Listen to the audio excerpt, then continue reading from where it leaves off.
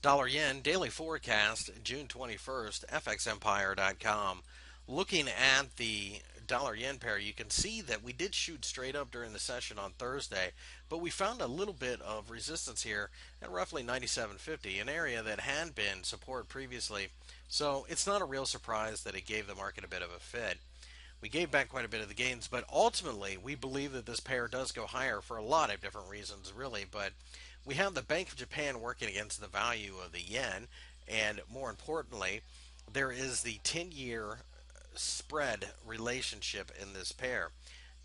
Simply put, wherever the higher yield is on the 10 year note, typically this pair will head towards that direction.